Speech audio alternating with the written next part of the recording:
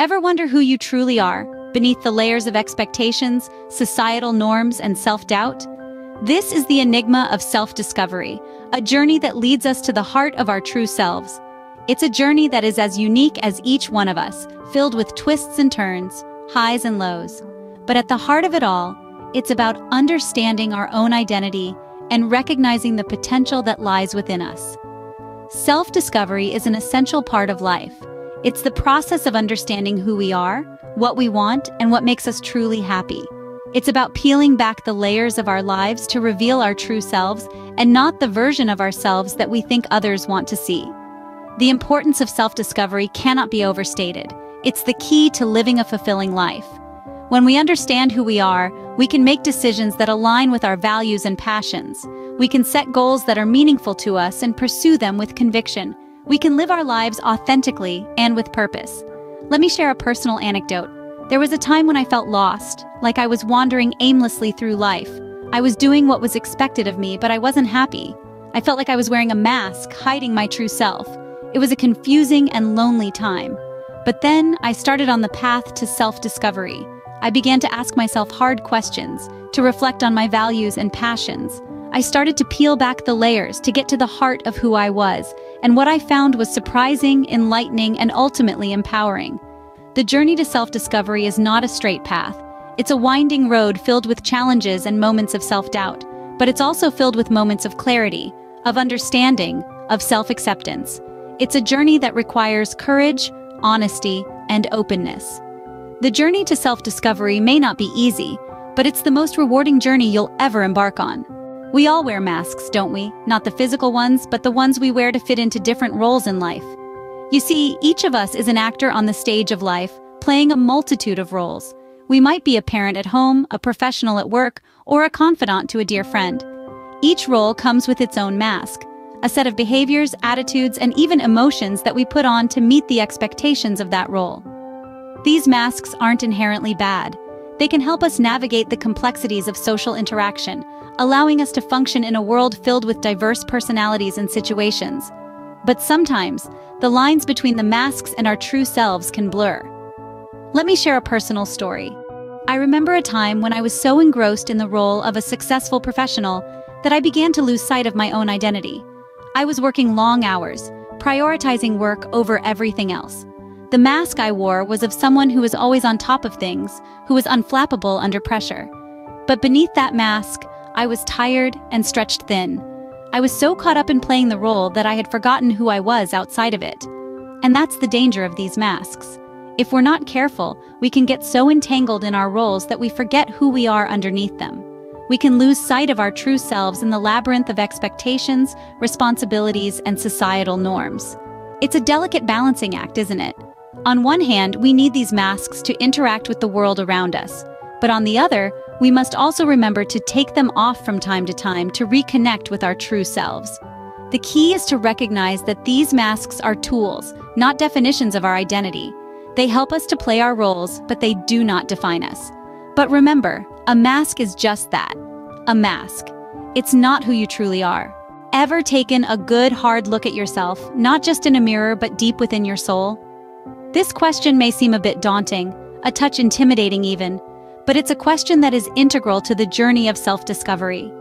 This isn't about critiquing your physical appearance or tallying up your achievements. It's about introspection, about peeling back the layers of your persona to reveal the core of who you truly are. But why is self-reflection so crucial?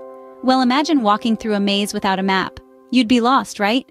In a similar vein, without self-reflection, we drift aimlessly through life, without truly understanding who we are or what we want. Self-reflection is our compass, our guide. It helps us navigate the labyrinth of life, steering us towards self-realization and self-acceptance. Now, let me share a personal anecdote to illustrate this. A few years ago, I found myself in a rut, stuck in a job I didn't enjoy, surrounded by people who didn't share my values. I was unhappy, but I didn't know why.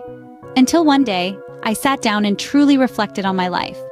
I realized that I'd been living according to society's expectations, not my own, that was a pivotal moment for me. It was then that I decided to make a change, to live a life that was true to who I am, not what others wanted me to be. This moment of self-reflection was a turning point, a landmark in my journey of self-discovery. It was painful, yes, but it was also liberating. It allowed me to shed the masks I'd been wearing and embrace my true identity. There's an old saying that goes, the unexamined life is not worth living. And while that might sound a bit harsh, there's a kernel of truth in it. Without self-reflection, we risk living lives that are unfulfilled, inauthentic, and devoid of purpose. Self-reflection can be daunting, but it's the key to unlocking your true identity. It's a journey worth undertaking, a path worth exploring. So, take a moment, take a breath, and take a good, hard look within. You might be surprised by what you find. Once you've peeled back the layers and faced your true self, what do you do? That's the question that often leaves us paralyzed with fear. But fear not. The answer is simple. You embrace it. Embrace your true identity with all its strengths and flaws. This is not a process that happens overnight, nor is it one that should be rushed. It's like nurturing a plant, caring for it, watching it grow, and eventually bloom. You are that plant, and your true identity is the flower waiting to blossom. Think of it this way. When we embrace our true identity, we are not rejecting the parts of us that we may not like. We're acknowledging them, understanding them, and finding ways to grow from them. It's about realizing that our flaws are not chains that bind us, but rather, they are stepping stones that lead us to personal growth and happiness. To illustrate, let me share a personal anecdote. I remember a time when I was terrified of public speaking. I would stammer, sweat, and my mind would go blank. It was a flaw that I despised. But instead of running away from it, I chose to face it. I joined a public speaking club, practiced relentlessly, and over time, I transformed that flaw into one of my strengths. It was uncomfortable, yes, but the growth and confidence I gained from embracing and overcoming that flaw were immeasurable. Now, I'm not saying that it's going to be easy. It will be challenging. There will be moments of self-doubt and fear. But remember, it's in these moments of discomfort that we experience the most growth.